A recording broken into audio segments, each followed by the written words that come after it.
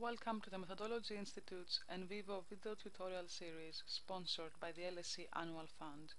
In this tutorial I will show you how to code at new or existing nodes. To code your data at new or existing nodes, open the source that you want to code. For example, in your internals folder, select Focus Groups and double-click on the Non-Volunteers focus group.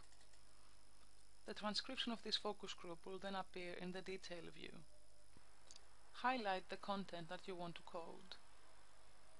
You can code words, sentences, paragraphs, or even entire interviews under a node, NVivo also allows you to code the same text segments more than once.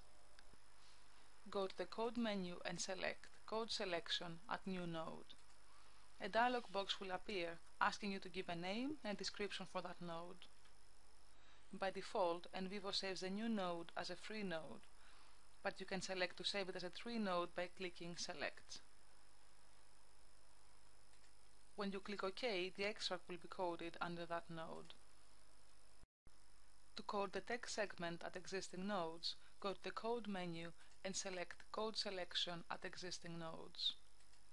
A dialog box will appear asking you to select which nodes you want to code at.